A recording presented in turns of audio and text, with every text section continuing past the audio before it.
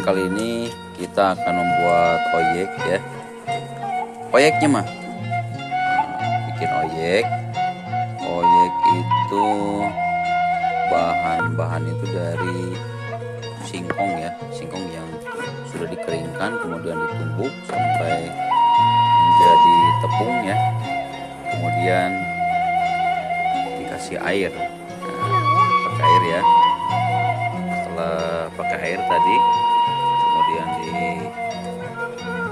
keong-keong namanya goyang-goyang goyang-goyang.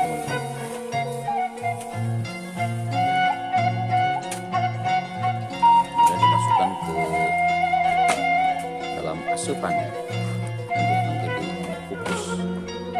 Tadi mah di daunan mah maksudnya. Oh iya iya. Jadi maksudnya supaya udah ada udara nanti ya ada, ada udara yang masuk ke sini kemudian panas. Eh, apa matangnya merata.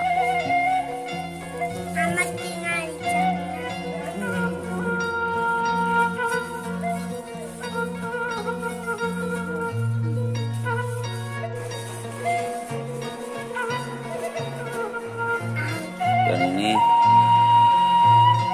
goah namanya. Goah itu dalam bahasa Sunda ya goah tempat penyimpanan padi.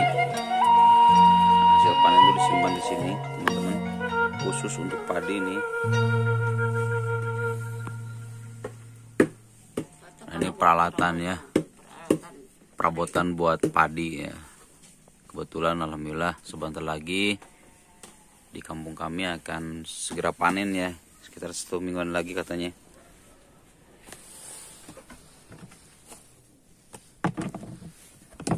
nah ini persediaan ya.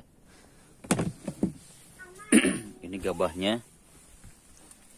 Di sini ada beras ketan dan buat makan sehari-hari ya. Beras biasa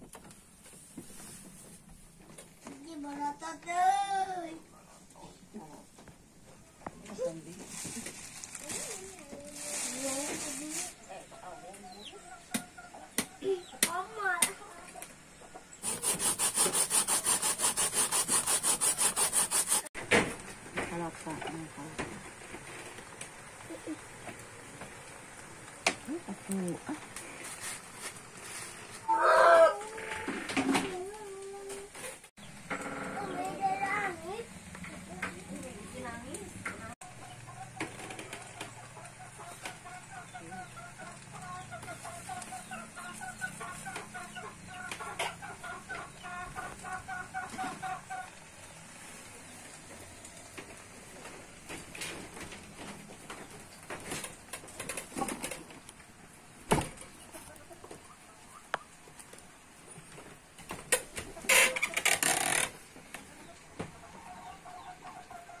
sungit mah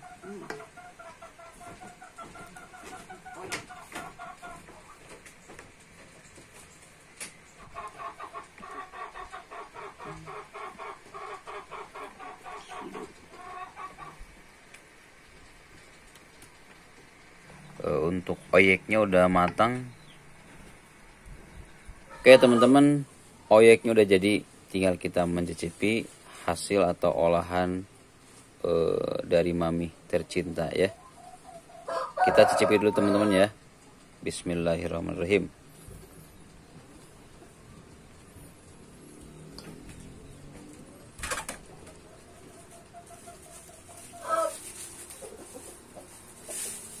Hmm. Enak.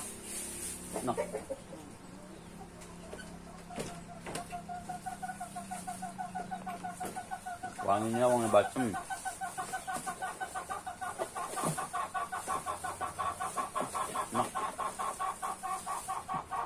Kita makan dulu ya. Sarapan dulu. Sarapan pagi. Hmm, dengan oyek. Nah teman-teman karena nih bahan dasarnya adalah singkong yang dijemur kemudian setelah kering ditumbuk maka ini sama dengan nasi ya mengandung karbohidrat jadi pagi-pagi sarapan pakai oyek itu udah biasa ya jadi ini sama dengan nasi ya teman-teman ya. Teman-teman sebetulnya eh, cara pembuatan oyek ini ada dua macam ya. Selain dijemur singkongnya kemudian ditumbuk setelah kering ada juga yang direndam di dalam air beberapa hari. Nah setelah lembek si singkongnya itu kemudian di apa ya diremes-remes gitu ya. Sampai menjadi kayak aci gitu. Setelah itu baru dikeringkan kalau yang aslinya daerah sini ya. Tapi sama aja sih. Sama aja cuman ini warnanya yang ditumbuk eh, yang dikeringkan kemudian ditumbuk seperti ini warnanya hitam tapi ada juga yang agak putih ya.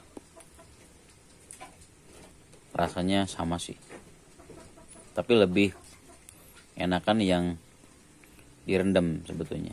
Lebih gurih lebih wangi yang direndam dibanding yang ini. Nah teman-teman seperti biasa saya ucapkan terima kasih buat teman-teman yang setia nonton selalu videonya. Jangan setapak dan sampai sini dulu kita, eh, perjumpaan kita kali ini. Dan sampai ketemu di video-video selanjutnya. Terima kasih. Wassalamualaikum warahmatullahi wabarakatuh